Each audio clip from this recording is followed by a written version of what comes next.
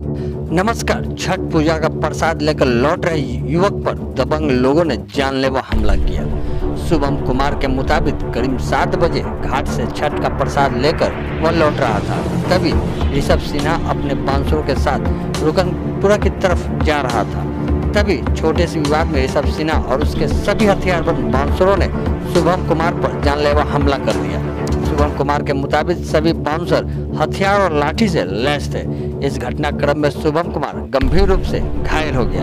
इतना ही नहीं, मारपीट करने के बाद भी उनका जी नहीं भरा तो पीड़ित युवक को गाड़ी में उठाकर ले जाने के प्रयास करने लगे। लेकिन वहाँ मौजूद लोगों के हस्तक्षेप के कारण आरोपी नाकाम रहे। भीड़ जुटता देख सभी आरोपी मौके से फरार हो गए। वही जानकारी के मुताबिक पता चला कि ऋषभ सिन्हा पर हत्या मारपीट जैसे कई संगीन मामले दर्ज हैं।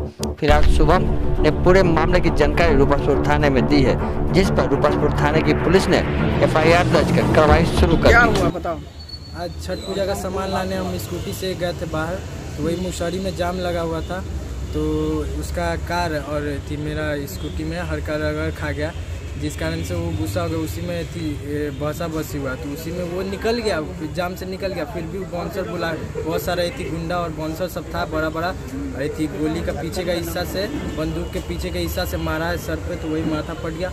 और रड का बहुत सारा ये थी ए, बहुत सारा रड लिया हुआ था और बड़ा बड़ा बाँस वाँस लिया हुआ था वो सबसे मारा है सर। और सब हम ही पे उलझा उलझा हुआ था सात आठ लोग था उसका। सात आठों कौन लोग थे ये? अब ये तो नहीं पता वो वही जो जिसके गाड़ी में टक्कर खाया ना तो वही सब बुलाया। है। अब ये थी सब तो बोल रहे हैं कि ये थी ऋषभ सिन्हा करके हैं उन्हीं का सब गुंडा सब है।